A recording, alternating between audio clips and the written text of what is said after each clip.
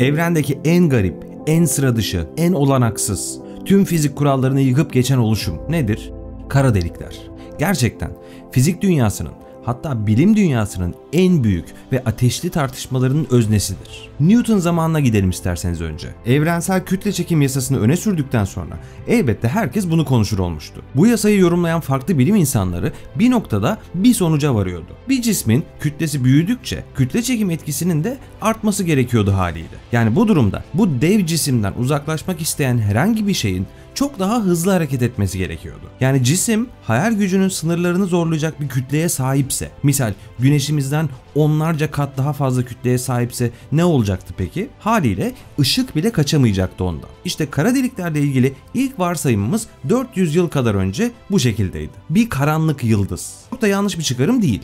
Hatta o zamana göre çok doğru bir çıkarımdı bu. Sadece bir cisim bahsettiğimiz kadar dev olduğu zaman olacaklardan habersizlerdi. Çünkü ne olursa olsun ışığın bile kaçamadığı bir olgu çok da kabul edilebilir değildi. Işığın bile kaçamadığı bir şey. Çok uzun bir süre fizikle ilgili birçok bilim insanı en büyük isimler bile bunun olası olmadığı görüşündeydi. Ancak asıl tartışmalar yaklaşık 100 yıl önce başlayacaktı. Fizik dünyasındaki başka bir devrimle. Tabii ki yine bu devrimin arkasındaki isimle. Albert Einstein. Tekrar merhaba Bay Albert. Genel görelilik kuramı ile birlikte Einstein her şeyi değiştirmişti. Biliyorsunuz.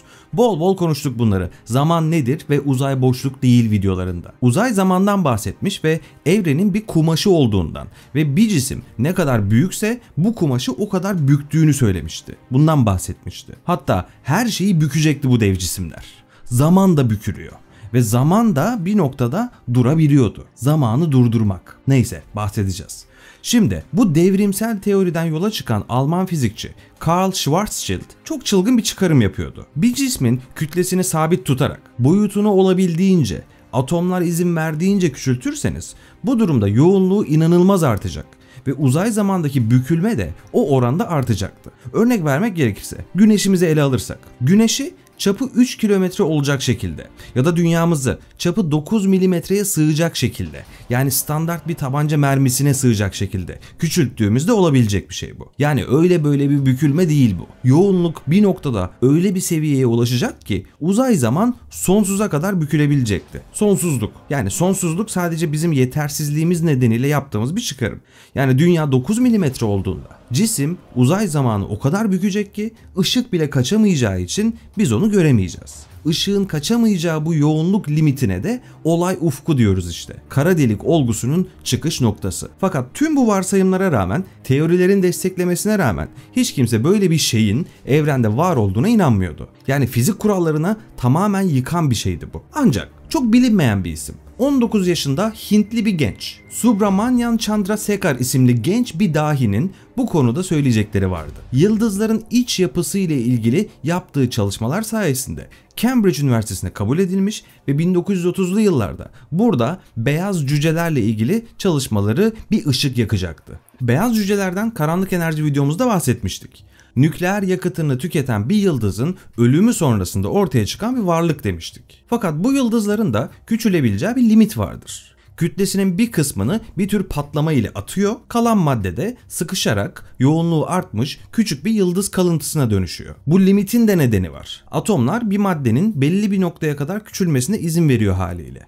Yani bir beyaz cücenin boyutu dünya kadar fakat kütlesi güneş kadar olabilir. Bir küp şekerin birkaç ton ağırlığı olduğunu düşünün. İşte Chandrasekhar İngiltere'de çalışmalarını yürütürken herkes tüm yıldızların ömrünün sonunda bir beyaz cüce olduğunu ömrünü bu şekilde tamamladığını düşünüyordu. Atomların sıkışabileceği bir limit olduğuna inanıyordu çünkü. Fakat Chandrasekhar'ın hesaplamaları çok farklı şeyler söylüyordu. Bu beyaz cücelerin de belli bir kütle sınırını aştıktan sonra çökmeye ve sonsuzluğa doğru küçülmeye devam ettiği sonucu çıkıyordu. Önceden bir yıldızın küçülebileceği limitin maksimum 10.000 kilometre çapa denk geldiğine inanılırken Chandrasekhar bir yıldızın yaklaşık güneşimizin 1.4 katı büyüklüğüne sahip olması durumunda kendi kütle çekim etkisine dayanamayacağını bulmuştu. Sonsuzluğa doğru çökmeye devam edeceğini. İşte bu bir kara deliğin tanımıdır en basit haliyle. Fakat elbette bu bulguları ciddi bir dirençle karşılanacaktı bilim dünyasında. Özellikle o zamanlar Chandrasekhar'ın bulunduğu Cambridge'de bulunan başka bir isim Sir Arthur Eddington. Oldukça sert çıkacaktı bu bulgusuna. Eddington'ı hatırlarsınız. Einstein'ın destekçilerinden. Genel göreliliği bir güneş tutulması ile kanıtlayan kişi. Fakat bu fikir ona bile çok çılgın gelmişti.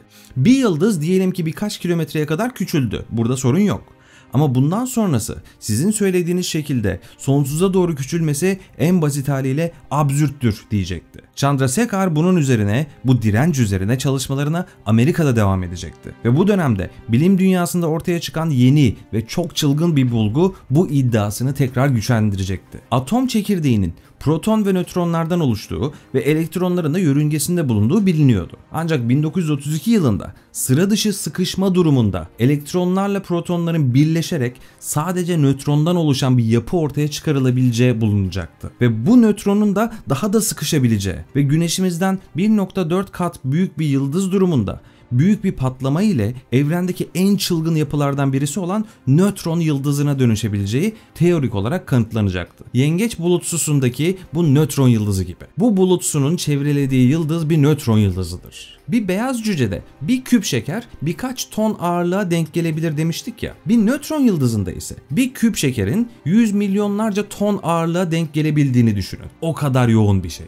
Yani bir yıldızın ölürken bir beyaz cücede kalmayabileceğini biliyorduk artık. Onun da ötesi vardı. Nötron yıldızları. Fakat burada da bir direnç oluşacak ve herkes artık bir yıldızın ulaşabileceği son nokta nötron yıldızıdır. Ötesi olmaz, imkansızdır diyecekti. Burada ise bambaşka bir bilim insanının sesi yükselecekti. Tarihin en zeki, en tartışmalı, en çok sevilen ya da en çok nefret edilen bilim insanlarından birisi.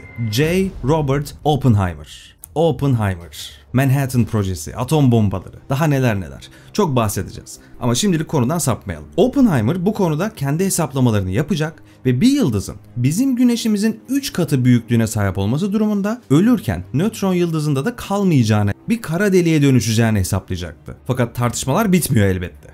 Başka ünlü bir isim John Wheeler Oppenheimer'a karşı çıkacak ve bir yıldız kütlesini kaybederken bizim güneşimiz kadar küçüldükten sonra çökme başlayacak ve sonunda ya nötron yıldızı ya da bir beyaz cüce olacak. Ötesi anlamsız diyordu. Kimse kabul edemiyordu bu kadar garip bir şeyin var olabileceğini.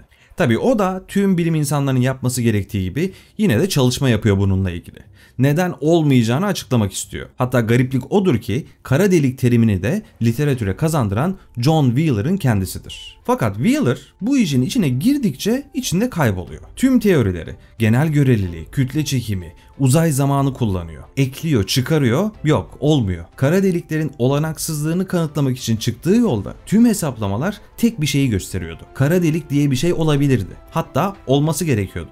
Başka açıklaması yoktu. Hindistan'dan yola çıkan 19 yaşındaki bir gencin Chandra Sekhar'ın hayali gerçek olmuştu. Ve uzun yıllar geçse de sonunda tüm çabaları takdir görecek ve 1983 yılında Nobel Fizik Ödülünü alacaktı. Yani sonunda kara deliklerin varlığı artık su götürmez bir gerçekti. Üstelik artık nasıl oluştuklarını bile biliyorduk. Elimizde tam bir tarif vardı. Fakat bir şey eksikti. Bir kara delik. Yani kanıt. Elimizde herhangi bir görüntü, varlığını kanıtlayacak herhangi bir şey yoktu.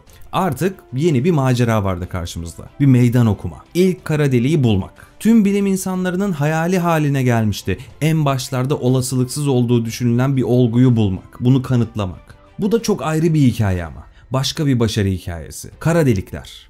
Evrendeki en garip oluşumlardan biri demiştik en başta. Fakat sadece ne olduğunu bilmediğimiz orada öylece duran garip bir canavar olmasının dışında bize çok başka kapılar da açacak. Cevaplayamadığımız birçok sorunun cevabını bize sunacaktı. Kara delikler gerçekten kara mı? Kara delikler gerçekten delik mi? Üstelik bilimin en önemli sorusunu biliyorsunuz değil mi? En büyük gizemi. Şu anda herkesin cevabını aradığı soru. Kuantum fiziği ile genel görelilik teorisinin arasındaki boşluk. Bu iki devrimsel olguyu birbirine bağlayacak teori. Her şeyin teorisi. İşte kara delikler bize bunun da cevabını verebilir. Hatta bazı cevapları da bize sundu. Newton kadar, Einstein kadar, bugüne kadar neredeyse hiç bahsetmediğimiz bir isim sayesinde. Çok büyük bir isim sayesinde. Stephen Hawking.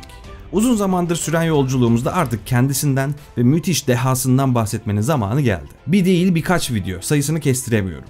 Oldukça fazla videoda bahsedeceğiz artık kendisinden. Ama isterseniz önce birlikte ilk kara deliği bulalım bir sonraki videoda. Çok vakit kaybetmeyelim. Zira Oppenheimer da bekliyor bizi değil mi? Bitirmeden bu videoların uzun süre gelebilmesi, bilimin popüler olması, daha fazla kişinin bilim konuşabilmesi için Bebar Bilim'in uzun süre varlığını sürdürebilmesi için Patreon ve katıl butonu üzerinden desteklerinizi bekliyorum. Daha önce de bahsettiğim gibi hazırladığım ve hazırlayacağım tüm videolar sürekli herkese açık olacak. Ama destekleriniz çok önemli. Ancak ne olursa olsun her zaman söylediğim gibi tekrar görüşene dek iyi ki varsınız. Sevgiler.